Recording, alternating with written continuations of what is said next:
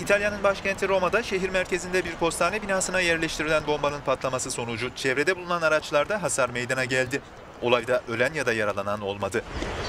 Polis olayın faillerinin daha önce de benzer eylemlere başvuran anarşist gruplar olabileceğinden şüpheleniyor.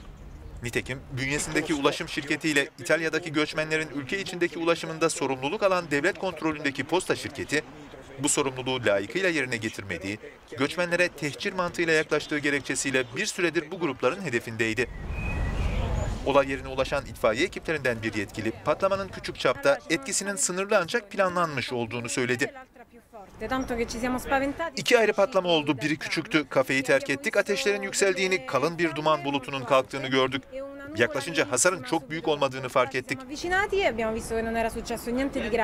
Yetkililer ayrıca plastik patlayıcıyla desteklenen bombanın zaman ayarlı olduğunu, ayrıca ateşleme düzeneğinin muhtemelen sıvı yakıt marifetiyle aktif hale getirilmiş olduğunu açıkladı. Patlamadan yaklaşık iki dakika sonra polis birimlerine yapılan bomba ihbarı da asılsız çıktı.